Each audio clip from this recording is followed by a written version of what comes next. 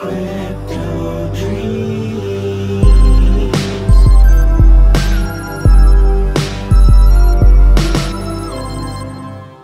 up, crypto heads? John Fro here from Krypto Dreamz, where anything is possible. This is the place to be to learn about NFTs. Welcome back. Happy to have you here once again. Today, we are looking at Atomic Hub and how to navigate it.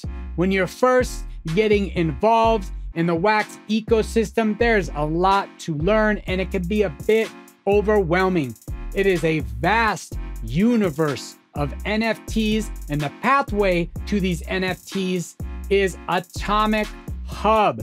This episode is going to tell you what you need to know, where you need to go, and how to do it. If you are new to the Wax blockchain, I recommend watching this video right here. It is an extensive overview of the Wax Cloud wallet. It gives you all the information you need to know on how to navigate that. Between this episode and that one, you are gonna have the tool set you need to get started. WaxP has been on an absolute rampage over the last month. It has more than doubled in price. People are becoming more and more aware about how amazing the Wax blockchain actually is. Before we get started, please subscribe, like, and hit that notification button. It helps my channel out greatly. All right, are you ready? Ha, let's go! All right, this is Atomic Hub. This is where it all goes down. This is where you're gonna find NFTs on the Wax blockchain. Anything from card collections, comics, to game items, tools, characters. This is where it all goes down. So you will link your Wax wallet to Atomic Hub and if you got wax in your wallet, you are good to go. You can start buying yourself some NFTs. So up here at the top, we have Explorer. You can search by name. You can search by whitelist or not whitelist. You can search all. You can search assets, templates, collections, schemas. You can even search accounts. For example, this is my account. So you can click on that. It takes you right to my account. You could see all the NFTs I'm holding in my wallet. Next, we have market up top. This is where I spend my days, many hours, many days. I'm in here exploring, browsing, looking for the next project, watching NFTs, and checking prices. So we're gonna go ahead and click on click on Galactica. This is a really cool project. So this is gonna take you only to the Galactica collection. You can search by name here, and you can also search by newest, oldest, highest price, lowest price, highest mint, lowest mint. I generally only use price, but at times I use mint, and other times I use newest when uh, a pack is just dropped and people are throwing stuff up really fast sometimes for cheap prices. So I'll refresh and try and try and grab those. But generally, I only use lowest, trying to find the best deal. If we jump over here, we can search packs. That's just going to show packs, and it's going to show the lowest price on packs. So that's the lowest price. Boom. If you want to get it, you hit buy. Buy it for that amount of wax. And you got yourself a Galactica small pack. You can grab cards. So by clicking on the cards tab, then you could take it further right here and look up rarity.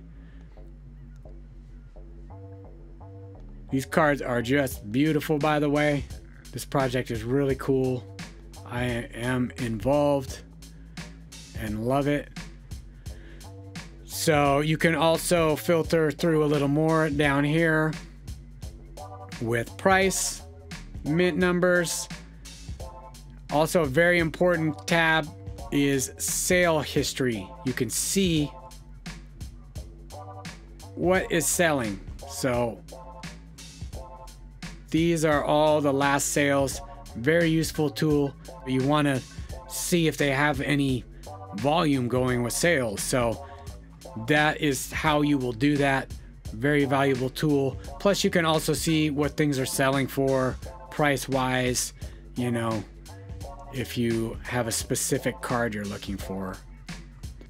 And if you do click on a card and you scroll down, another very uh, useful tool is you can see here what the price has done and what the NFT is doing on a graph and see if it's a good time to buy, if it's a good time to sell. We can check all.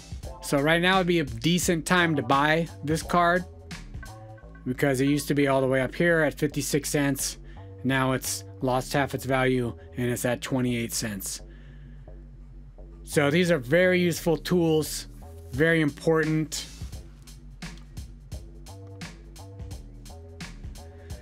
And then if we jump over here, this is my account.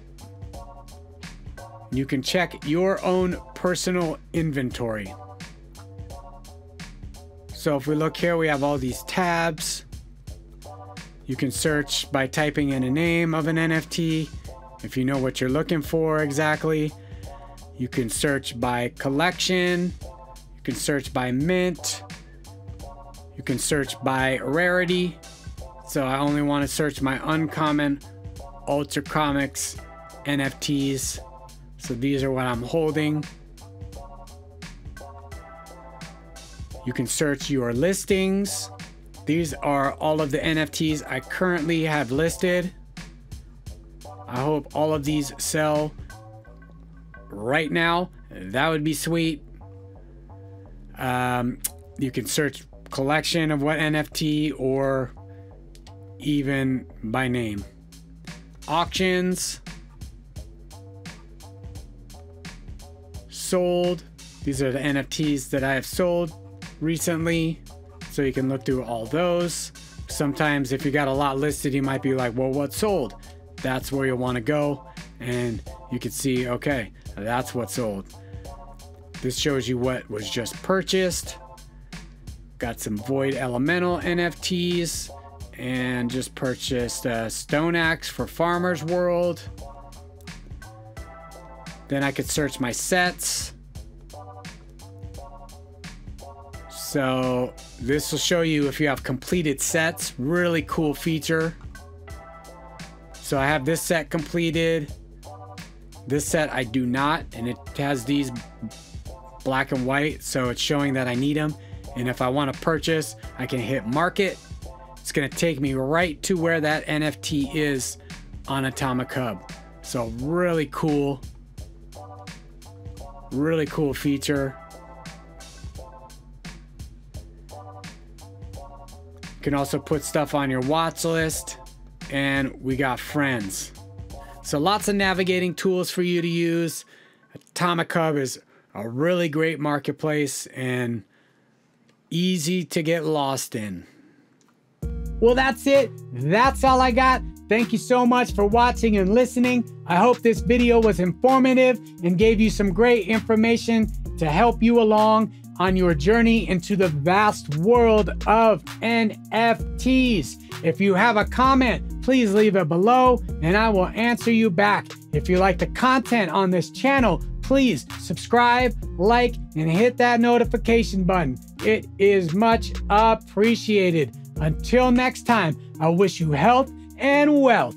Peace. Crypto.